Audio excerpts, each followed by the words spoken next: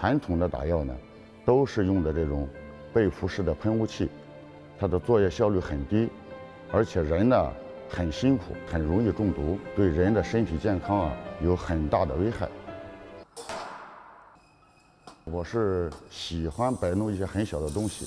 零四年的时候呢，开始做这种小型的农机产品，发明的你像这种葡萄的埋藤机、秸秆的这种打捆机，我都做过。结果呢，没有成功。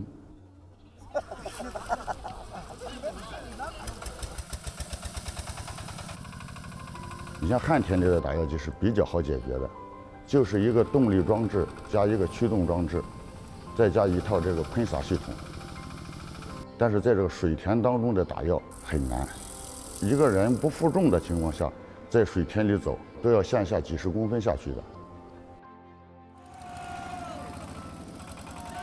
现在在世界上来解决这种水田打药，相对来说都是一个比较难的课题。国内的这种是十分欠缺的，没有一家是成熟的。发明一个产品，不是一个短时间就能做出来的，而且呢，还要经过很长的一段时间去验证它，验证它它的到它的缺陷，不断的完善。长时间的。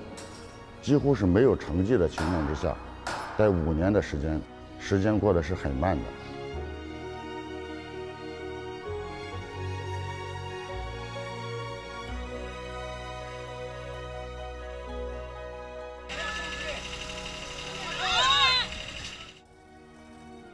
你可能要走很多的弯路，陆续的改进，才最终到了现在的这这款产品。我们最大的特点呢，就是。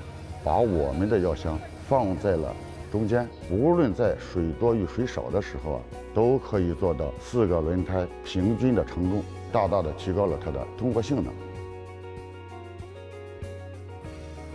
另外又加了一个差速锁功能，在很恶劣的地况下，如果陷住了怎么办？差速锁加上以后，它可以比较顺利的脱困出来。